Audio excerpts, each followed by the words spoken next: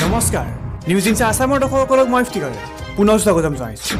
এই মুহূৰ্তত আহি পৰিছে আজি সন্ধিয়াৰ কেইবাটাও অতিকৈ গুৰুত্বপূৰ্ণ খবৰ। আজি আমাৰ প্ৰথম খবৰটি এটা big breaking news H S চূড়ান্ত বৰ্ষৰ পৰীক্ষাত উত্তীৰ্ণ হোৱা ছাত্ৰ ছাত্ৰীসকললৈ এটা অতিকৈ গুৰুত্বপূৰ্ণ খবৰ এটা ভাল খবৰ আহি পৰিছে।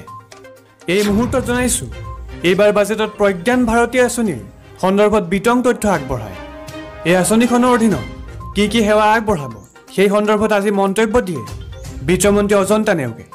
এই মুহূৰ্তত জনাইছোঁ স্নাতক শ্ৰেণী পৰ্যন্ত ছাত্ৰ ছাত্ৰীক বিনামূলীয়া পাঠ্যপুথি আৰু পাঠ্যপুথি ক্ৰয়ৰ বাবে সাহাৰ্য প্ৰদান কৰা হ'ব। ইয়াৰ লগতে স্নাতক মহাবিদ্যালয় মেডিকেল কলেজ আৰু পলিটেকনিক মহাবিদ্যালয়ৰ স্নাতক আৰু স্নাতকোত্তৰ পাঠ্যক্ৰমৰ ছাত্ৰ ছাত্ৰীৰ বাবে প্ৰতিমাহে হোষ্টেলৰ মাচুল দুই হাজাৰ টকালৈকে ৰেহাই দিয়া হ'ব।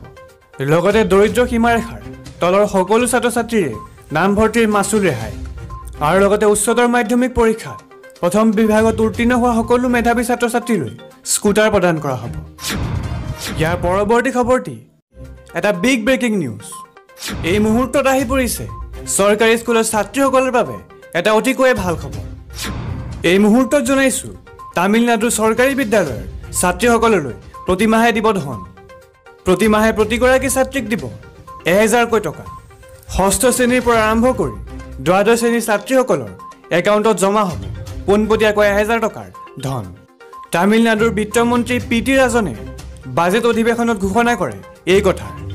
ছয় লাখ ছাত্ৰী ইয়াৰ দ্বাৰা উপকৃত হ'ব বুলি মন্তব্য প্ৰকাশ কৰে।